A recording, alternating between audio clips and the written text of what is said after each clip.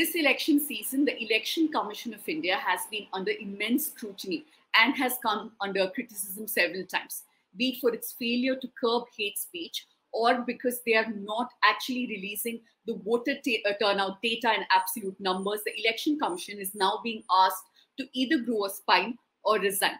Recently, a section of activists from civil society, citizen groups, and even former bureaucrats approached uh, election commission in different parts of the country and submitted a memorandum. My guest today is one such person. I'm being joined by transparency activist Anjali Bharadwaj, who met the election commission officials in Mumbai. But before I go across to her, a quick appeal from all of us here at the News Minute. For us, being independent not just means that not taking any sponsorship from corporates or from governments, but it also means taking up people's voices and questioning those in power, like the Election Commission. We've been following this story very closely, and we need your support to continue being independent. So if you like the work we do, then make sure that you check out our reporting fund so you can support our reporters, or you could even become a paid TNM subscriber. How you can do both? The links are in the description below. Uh, for the benefit of our viewers, if you could just recap, what are the different inactions and lapses that we've seen uh, or from Election Commission of India this election season? Look, uh, it's very important that the Election Commission of India, which is mandated by the Constitution to make sure that elections in the country are free and fair, be doing its duties in a completely independent and in a non selective manner. Now, what we are seeing, unfortunately, and this is not just this time, but this was something we noticed even in the 2019 elections, is that when uh, there are complaints of the violation of the model code of conduct, unfortunately, the kind of action that the Election Commission of India has been taking is very selective. So, if there are complaints against leaders of the opposition parties, there is action that's taken with great alacrity. But if there are complaints of violation of the model code of conduct, of hate speeches against the ruling party uh, leadership, uh, the actions of the election commission are wanting. And we saw in the 2019 elections that happened repeatedly. And in fact, at that time, the election commissioner, one of the election commissioners, Mr. Ashok Lavasa, when he tried to put in a dissent note uh, to say that, uh, to say that he did not agree with this kind of selective action. Uh, he uh, we saw was in many senses forced to resign. So we are seeing this time around as well that when there are hate speeches that are being made by uh, by leaders of the BJP, including the prime minister, the election commission is not taking the kind of action that needs to be taken when uh, recently the prime minister made uh, certain speeches which were very communal in nature and complaints were filed uh, the election commission did not act till there was a lot of public pressure. And even then when the action was taken it was basically in the form of a notice which was not sent to the prime minister but to the bjp president mr jp nadda in which the prime minister was not even named. It simply said that some of your star campaigners seem to be making speeches and they need to be reined in. So this really sends out a signal to people during election times that the election commission is not functioning in an independent and in a fair manner and i think that it really destroys the level playing field potentially which is very dangerous in uh, during election times and it also uh, leads to the plummeting of discourse during uh, elections. The political discourse then th- because it sends out a signal then that if the ruling party leaders are saying anything which is violative of the model code of conduct uh, even that will not be taken uh, notice of or action against properly. So this is very very concerning the other issue, which I think is very concerning to citizens, uh, is the lack of transparency in the voter turnout this time. Uh, for the first time, we are seeing that the Election Commission is putting out voter turnout data in terms of percentages instead of telling people the absolute number of people who turned out to vote. Now, this is uh, something which is coupled with the fact that uh, usually what the election commission does the practice the norm is that within 24 hours the election commission's uh, commission uh, within the conclusion of a polling in a phase within 24 hours the election commission puts out the data of voter turnout. This time after phase 1 the election commission took 11 days. After phase 2 it took nearly 5 days to put out data on voter turnout like I said, even then it did not put out the absolute numbers, it put out percentages. And there was an unusually high increase in voter turnout. So when the initial figures were put out uh, by the Election Commission, they were stood at around 60%. But after 11 days, when the figures were revised, they were revised upwards by 6%. And this is not the kind of increase in voter turnout that one usually observes. No explanation was given to citizens. So this has led people to have serious doubts about what is happening. Why is the voter turnout figure not being disclosed by the election commission? And people have now asked the election commission to give this uh, absolute number and also to give the authenticated uh, form, which is Form 17C Part 1, which is signed by the presiding officer at the polling station and also by polling agents who are present there, which is the authenticated record of voter turnout. And despite repeatedly people writing, citizens writing to the election commission, they have not done the needful. Now, of course, the matter is in the Supreme Court, and the court has asked the election commission to explain why it's not doing that.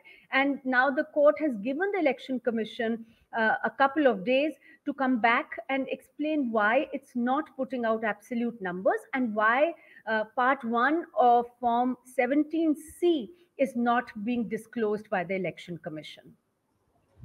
Uh, before I get to the hate uh, speech part, uh, if you can explain to our viewers why exactly giving out the actual voter number is important and why just you know giving it in percentages is not enough. That's one part of my question. And the second part of my question is about the revision. Uh, is this the first time that we've seen, uh, like you mentioned rightly, 11 and 5 days uh, for the uh, for the revision to take place? Because yes, it is uh, when they give it out on the uh, day of the polling, it is an initial estimate, which is usually a rough estimate. But does it usually go up by 6 to 7%? is that something we've seen in the past? So the answer to both your questions uh, um, essentially is that the election commission has to, and it has been the norm, it's something they've been doing consistently, that they give out not just percentages of voter turnout, but also the absolute numbers. Now, it's important to understand why we want absolute numbers.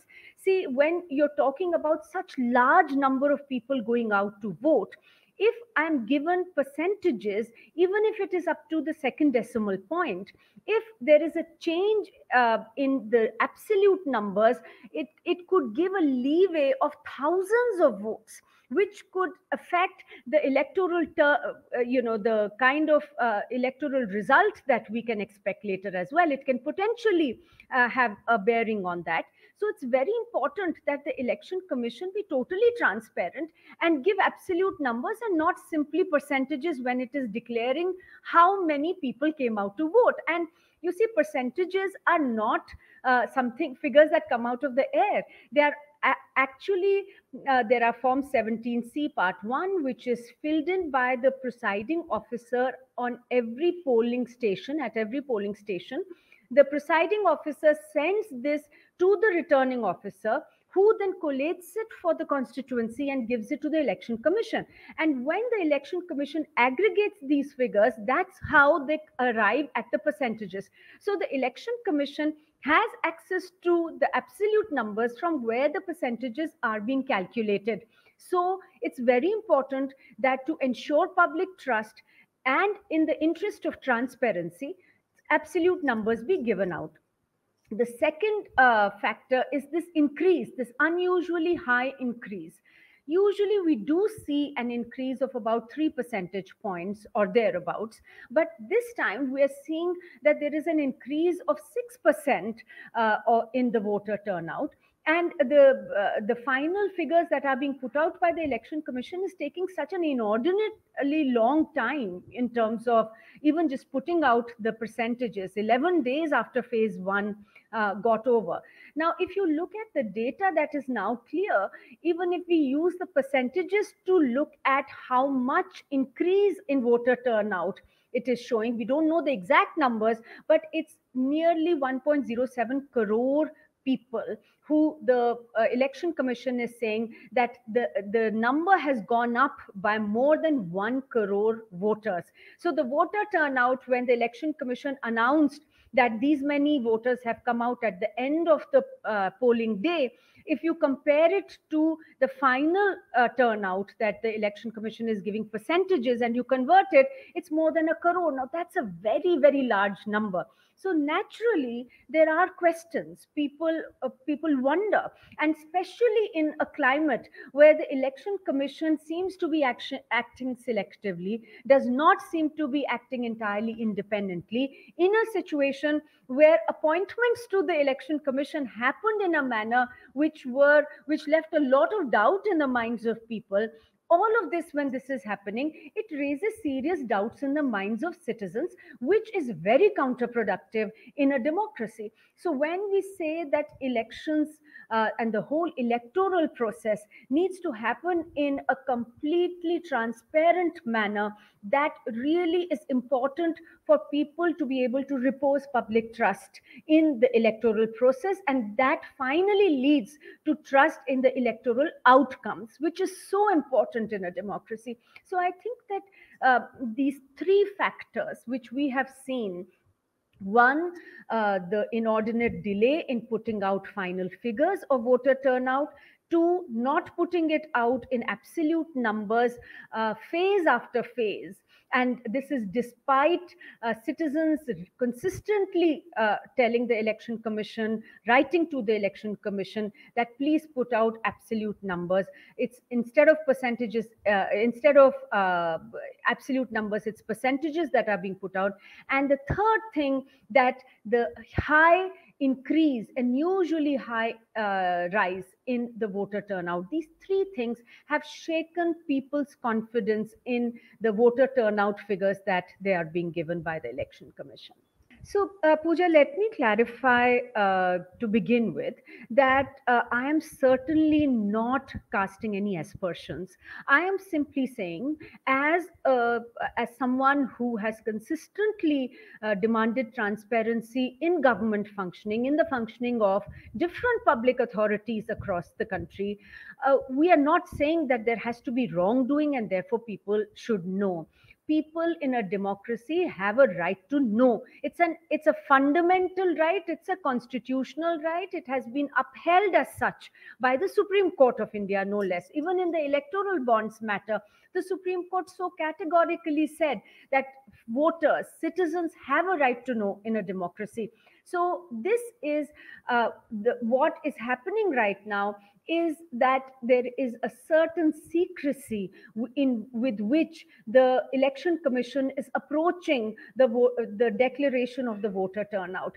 And that unfortunately globally anywhere if it happens in any institution it raises many doubts including doubts of wrongdoing so while uh, I don't think many people are saying that something has necessarily been done. That would have to, we'll have to look at evidence. A lot of, uh, you know, uh, things would have to come out. But to be able to even have public trust in the electoral process, transparency is very, very important. And when the election commission, despite citizens writing, we uh, some of us got together and wrote about 10 days ago, more than 10 days ago, to the election commission. Uh, there was no response. The letter then was signed by uh, thousands of people across the country. Some of us in a small delegation then went and submitted that letter to the election commission, in which the demand was that to ensure trust in the electoral process, there is need for transparency in the process, and therefore the election commission must not hesitate to put out absolute numbers of voter turnout and uh, may, should make public uh, part 1 of form 17c the election commission hasn't done it. The supreme court asked the election commission what the problem was with doing it. The election commission said no uh, you know that we we don't believe that we should do it. And uh, they're refusing to basically comply with this very basic requirement of transparency. So i think that that kind of really uh, uh, in many senses and i don't blame voters and citizens then if they feel that there might be something wrong that is happening otherwise you know we've seen that uh, you know why would any institution want to work behind a veil of secrecy uh, the data is out there the Supreme Court itself asked the Election Commission that if you're bringing out percentages, surely you have the absolute numbers. You can't be calculating percentages without absolute numbers. What is the problem with sharing absolute numbers? And it's been done regularly.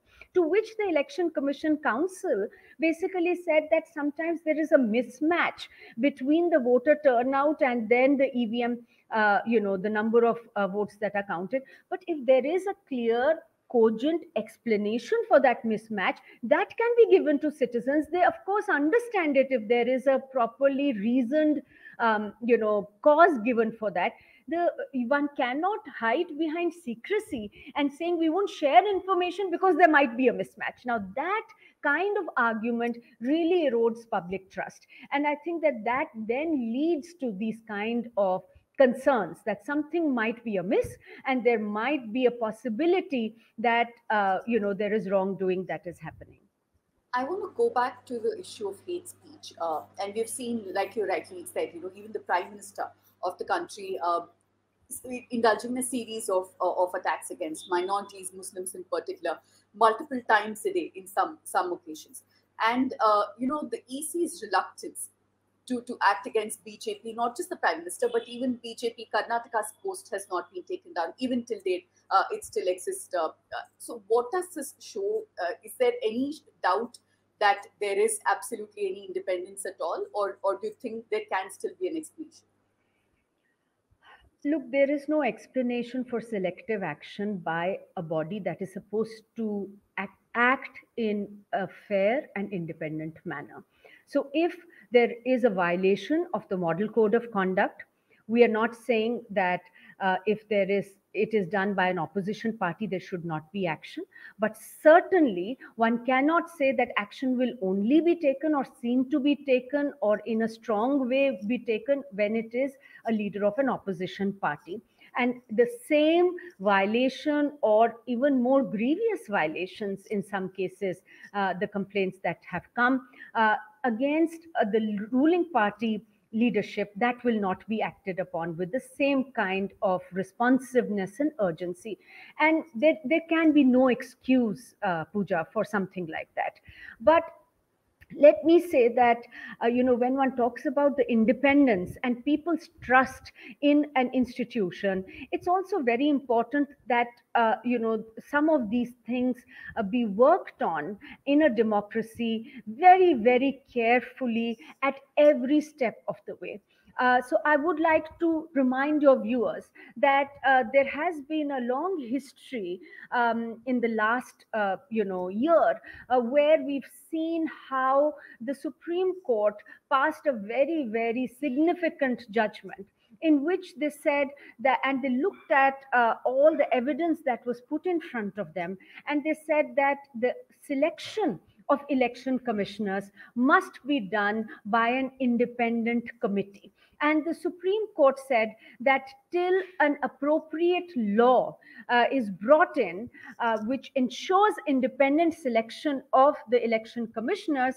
there should be a body of the Prime Minister, uh, the leader of opposition, and the Chief Justice of India, three people who will select the election commissioners so that this particular body when it is conducting elections uh, you know it's really very clear to citizens that this body is not at all biased. It is uh, not comprising of people who might be acolytes of the ruling party or any other party and therefore people have trust in the election commission.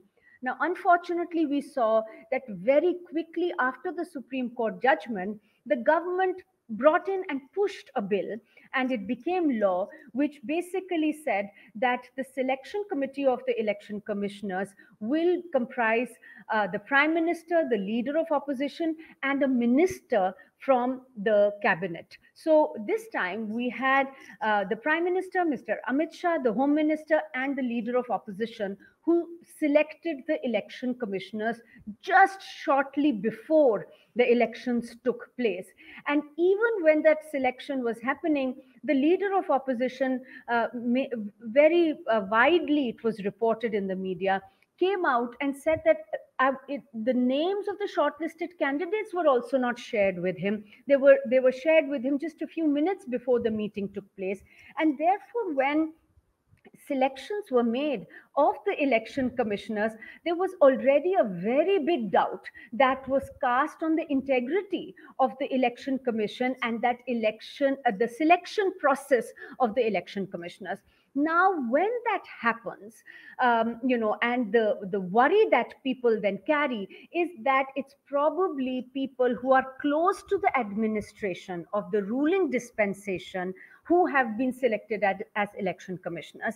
In that sort of a situation, it is even more important that the election commission function transparently. Let not just things be done fairly and independently, let them also be seen to be done independently and fairly. And in that environment and climate, when for the first time we start seeing uh, information being suppressed, when absolute numbers of voter turnout is not given out, when we are seeing that there is selective action that is being taken in favor of the ruling party and against the opposition, it really then causes alarm, it causes a discomfort amongst citizens. And in fact, uh, the Election Commission Counsel in the Supreme Court said, uh, you know, uh, about the petitioners who were asking for transparency said that you know these kind of questions dissuade first time voters from coming into vote.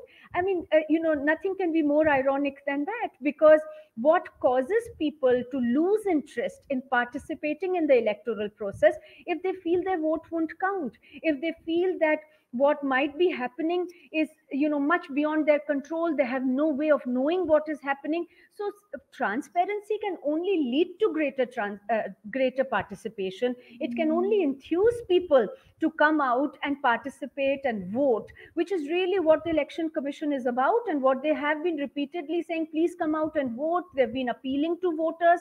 And um, you know all of this um, is very important. And I think that when we are seeing the action on whether it is on hate speech, other violations of the model code of conduct of the election commission, it needs to be seen in this larger context and, and uh, appreciated in this larger context. So my, that brings me to my last question. Given the election commission's uh, response when uh, citizens like you, activists like you, approach them, the fact that they're not even willing to engage or uh, be forthcoming with their responses? Do you worry that you know there is a shadow cast on whether or not the elections are free and fair at all? And if there is a level playing field at all this time around?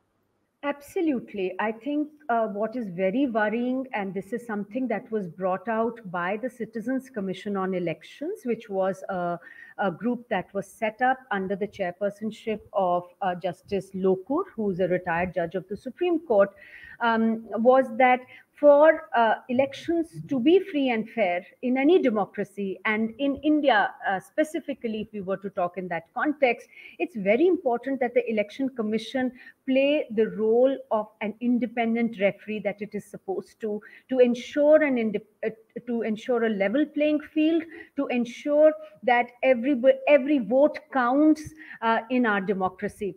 Now, what we are seeing is, unfortunately, even when we went in a delegation to give uh, the uh, letter to the election commission asking for greater transparency in the voter turnout, um, nobody in the commission, not just the commissioners, not even any officers of the, uh, the election commission, were willing to talk to uh, the citizens. In fact, we were even told that there are no public dealing uh, hours. When we said that we could come back in a public dealing hour, they said that uh, you know there are no public dealing hours. Now imagine in a democracy uh, during elections if citizens want to submit a memorandum which in in this particular case it was signed by thousands of people across the country um, you know, or explain uh, their concerns to someone in the commission, there was no way to get anybody to even engage with citizens, which really also puts out, sends out a very, very concerning uh, signal uh, to citizens.